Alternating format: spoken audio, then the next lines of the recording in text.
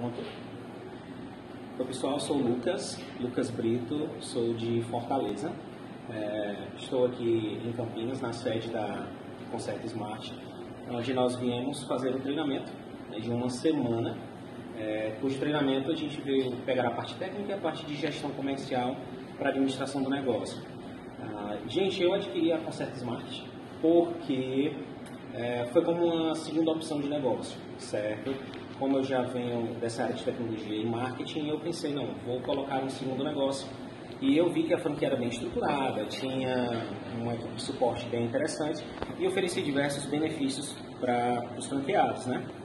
Como a marca é muito consolidada, eu considerei muito esse peso e resolvi investir no negócio, certo? As minhas expectativas para o início da loja são as melhores, né? Estou com o nosso técnico aqui também fazendo treinamento, né, se especializando. E não acaba por aqui, né? O treinamento ele é constante.